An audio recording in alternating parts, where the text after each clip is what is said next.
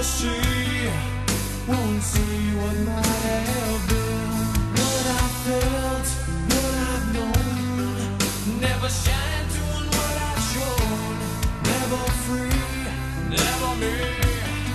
So I dug deep.